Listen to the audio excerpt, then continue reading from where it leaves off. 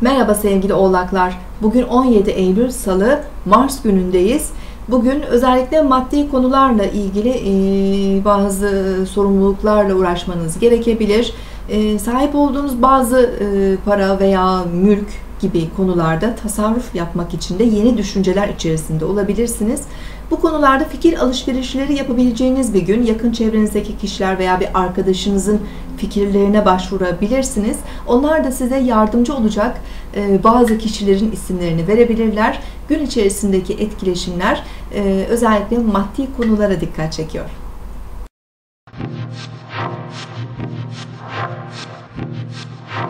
Burcunuzu dinlediniz. Bugün 17 Eylül Salı, Mars günündeyiz.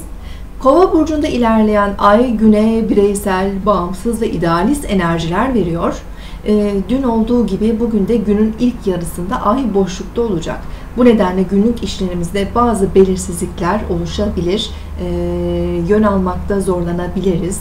E, kararsız tutumlar nedeniyle e, günlük işlerimizde planlamakta zorlanabiliriz. E, dün özellikle Merkür'ün sert etkileşimleri iletişimlerde e, sorun çıkarmış olabilir.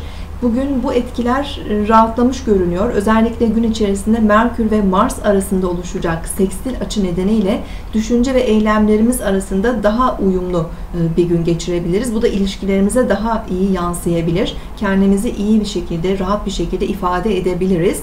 Öğleden sonra 16.59'da Ay Balık burcuna geçecek. E, güne daha duygusal enerjiler vermeye başlayacak. Sezgilerimiz güçlenebilir, manevi yönümüz biraz daha öne çıkabilir.